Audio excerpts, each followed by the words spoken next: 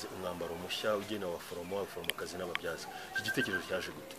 Mu by'ukuri iki gitekerezo mu buryo cyaje ni ukuvuga hari hasanzwe hari umwambaro w'abaforomo n'ababyaza ariko dusanga uwo mwambaro utakigezweho kuri iki gihe. Wa- wasangaga umwambaro twakoreshaga ugasanga barimo barawambara ugasanga ababazi b'inyama barawambara ugasanga abo mu maresitora barawambara dutekereza rero ku mwambaro noneho twashaka uberanye n'umwuga w'abaforomo abaforomokazi n'ababyaza.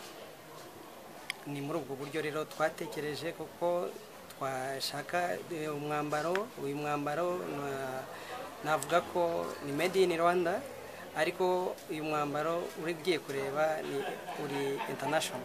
Ni ukuvuga ngo n'ahandi eh, bambara umwambaro ni ngo uyu mwambaro rero mwagiye mureba ko hari ibyiciro ibyiciro mwaribyara umwambaro hakaba ah, n'amapeti ariya mapeti ni uburyo bw'ibyiciro ku buryo bw'amashuri. Ni ukuvuga ngo hari ibijyanye na- nevo y'ishuri hakabaho experience umuntu aba amaze mu kazi bityo bi- bigatandukanya ku- kuri levo ya- y'ishuri na experience y'umuforomo n'umuforomokazi n'umubyaza. Wenda mwatubwira